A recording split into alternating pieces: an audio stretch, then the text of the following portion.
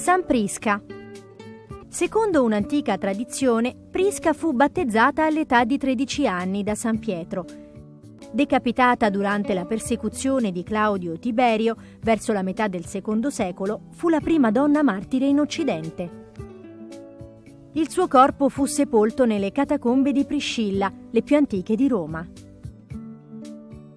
Prisca era proprietaria di una domus cristiana, un'abitazione civile messa a disposizione degli apostoli e dei primi cristiani per riunirsi. La sua abitazione venne poi trasformata in chiesa, divenendo una basilica titolare della città, cioè un oratorio domestico.